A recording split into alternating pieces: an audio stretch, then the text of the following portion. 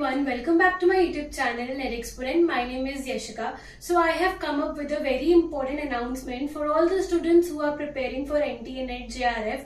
So I have come up with a two minute uh, talk session. So in this I will be daily uploading a video for two minutes on all the important topics of NTA NET that can be asked in your exam.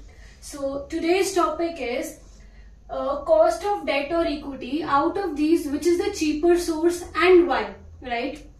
So for example there is a company which needs 100 rupees to expand its business right? So uh, this 100 rupees can either be borrowed from a bank.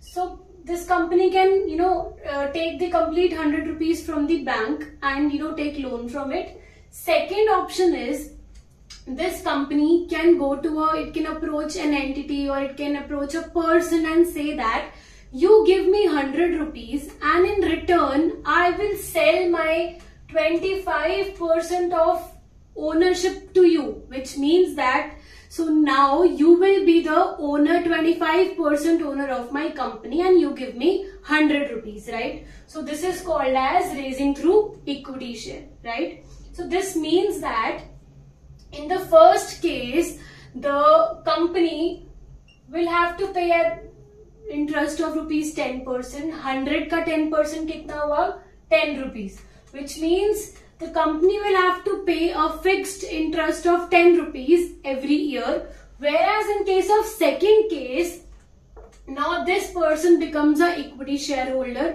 right so in this case the company will have to pay twenty five percent of its profit to the equity share holder यहाँ तक समझ में आ गया right right? So suppose now next year this company makes a profit of suppose rupees 50. 50 रुपए का इसने profit कमाया ठीक है so in case one 10 rupees is the interest. So 50 minus 10 is 40. This 40 rupees is the profit of the company ठीक है interest minus कर जो बचा वो किसका हो गया कंपनी का हो गया whereas in this second case told you now twenty five percent of profit will be given to this shareholder, new shareholder of the company.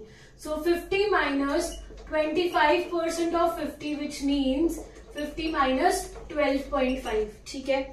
यहाँ पर आप टेन रुपीज़ इंटरेस्ट पे कर रहे थे whereas in this case you have to pay twelve point five rupees to the share holder यहाँ तक समझ में आया? But now this is clearly seen that equity share holder को रेज करने से पैसा ज़्यादा महँगा पड़ रहा है। बट और क्या पॉइंट है? Will discuss this okay so first point is in case of first case in case of bank loan the company has to pay interest of ten rupees at every interval of time there is no expectation of the there is no expectation by the bank of any increment कि यार, अगले साल ना मुझे शायद पंद्रह रुपए मिल जाए। नहीं this is fixed interest there is no increment expectation from the bank side whereas in this case second case this person is the equity share holder share holders take a risk why because they are paid at the end so obviously this share holder will demand high return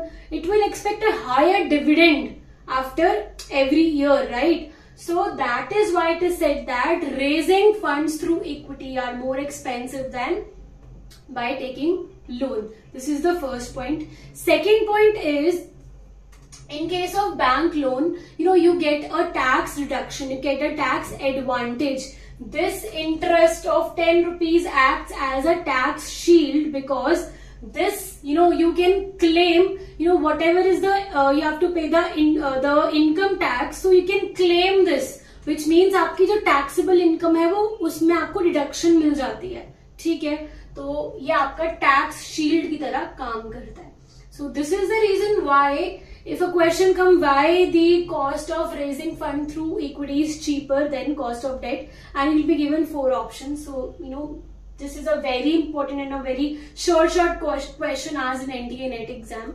so I will keep on posting such videos a two minute you know video I've thought of coming up with the you know uh, such talks so I will be doing it only if I get a good response out of this, right? So don't forget to uh, give your feedback on this and do share my video. Thank you so much.